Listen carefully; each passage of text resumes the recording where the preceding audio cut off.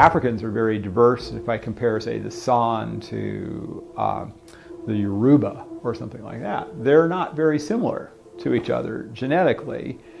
And in fact, at the level of, of genetic diversity, about the same level of genetic diversity as if I compared uh, the San to a population like the Karitiana that live in, um, in South America.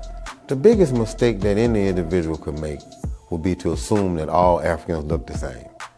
Genetic variance explains to us that the older the population, the more differences you will encounter. When you look at the genetic variation today in anatomically modern Homo sapiens, there is more variation among Africans than there is among Eurasians or uh, any other um, populations around the world. Now think about this. Why do we have more variation among Africans than we have among Eurasians?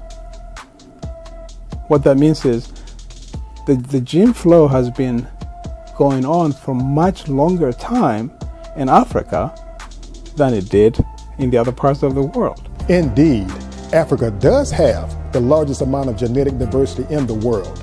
You'll never find a place in the world where people are so different genetically. So why is that and what does it mean? DNA is the molecule that actually forms our genes. Each of us have inherited 50% of our genes from our mother and 50% of our genes from our father.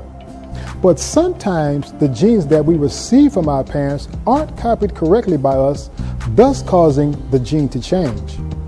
This is what's known as a mutation. Now, mutations are not a bad thing. Actually, they're a good thing because without them, all humans would look the same. Mutations occur in each generation. Simply put, the more mutations that occur over time, the more genetic diversity will occur. For example, the origins of our species have been traced back to Africa roughly 200,000 years ago. Now, if a generation is 20 years, then that's 10,000 generations of genes mutating. This explains why Africans look so different because so much time has accumulated to form changes in their genes. On the flip side, the younger the population, the less genetic diversity occurs. In other words, there are less mutations that have occurred over time.